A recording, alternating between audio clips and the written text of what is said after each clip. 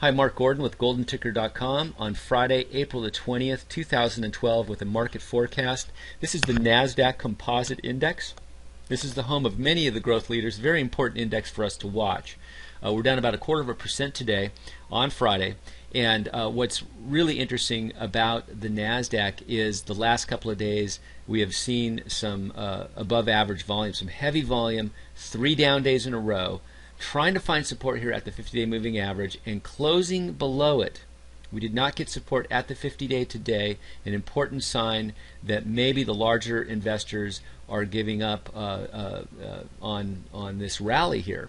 Uh, we'd love to see uh, the indexes come down, tag the line, and then come back up off of that line on good volume.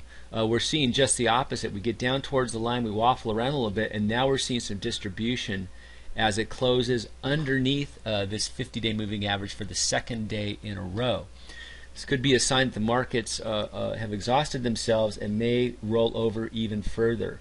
Um, of course, uh, uh, you know many things uh, can happen in, in the stock market. Um, I believe they're heavily manipulated. so, um, but the chart is showing us that there is trouble with the growth stocks. And when we go to a weekly chart, we can see that we have closed now below the 10 week moving average, this blue line. And this is the first time that has happened since the breakout back in late December. So another key sign. And we've had two um, uh, uh, distribution weeks where, where uh, the market has fallen on increasing volume. So this is our third down week in a row, only off about a third of a percent for the entire week. So a tight close here, but still underneath the 10 week moving average. You would have expected the large investors to keep this market propped up, keep it psychologically above the 10 week line if they felt it was going to go higher. So uh, I'm seeing a little bit of dissension in the NASDAQ. And we look at the QQQ, this is the NASDAQ 100, a bit more concentrated on the growth stocks. Um, we do have support here at the 50 day moving average, but we do have some big, big distribution going on here. Um, so, uh, you know, getting support down here, but still uh, some heavy, heavy volume down days. So um, uh, that's not very uh, settling right there to see, but I do like the support there. If we start breaking that support on volume, uh, we could be headed lower. So this is worth keeping a close eye on. And looking at the SPY, this is the S&P 500 uh, ETF. We can see that we are getting support here at the 50-day moving average here on this index of, of larger cap stocks. Uh, we did have a major distribution day here on Thursday, but uh, nonetheless getting uh, some support down here at the 50. Should that break on increasing volume, uh, we could be headed lower. Now this is a chart for Apple, of course, a mega, mega cap growth leader, um, the, the leader of the market. And um, Apple has gotten into some trouble over the last week. Uh, we had uh, hit a peak of 644 and came down very quickly uh, within four or five sessions and uh, got down here uh, at the 10 week line. This is the 50 day moving average, which corresponds. Actually, if you look at a weekly chart, it got right down to the 10 week and then bounced up on good volume, uh, which is what we want to see. But now we've fallen back the last three sessions.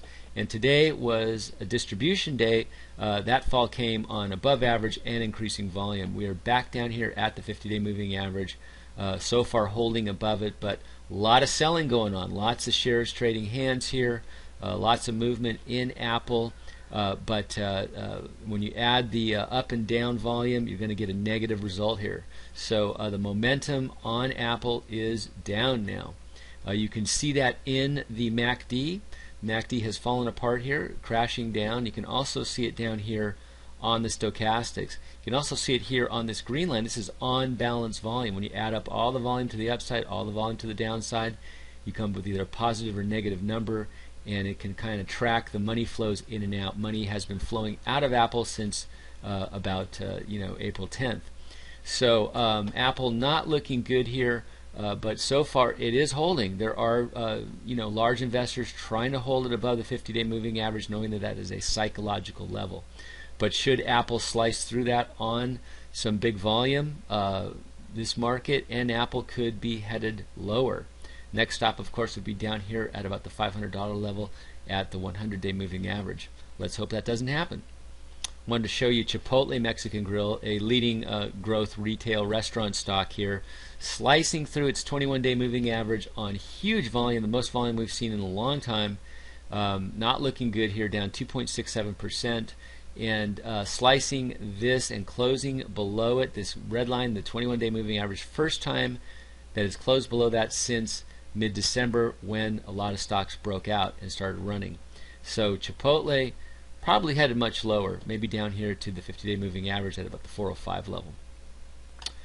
So the markets are in a correction. Um, that means that um, there's been a lot of distribution, which is institutional selling, and um, we spotted this uh, weeks ago and started to get to the sidelines. Um, it seems to be uh, gaining a little bit of momentum here to the downside. This is no time to be adding new purchases, in my opinion.